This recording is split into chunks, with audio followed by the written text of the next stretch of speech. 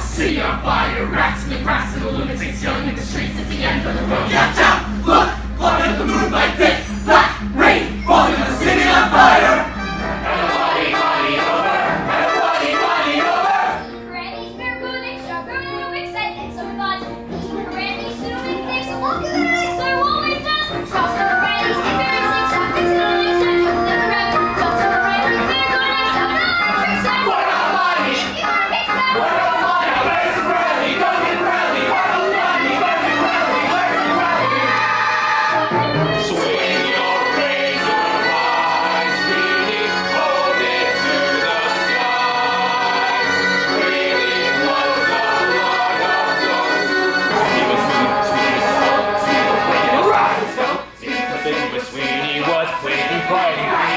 Brasil.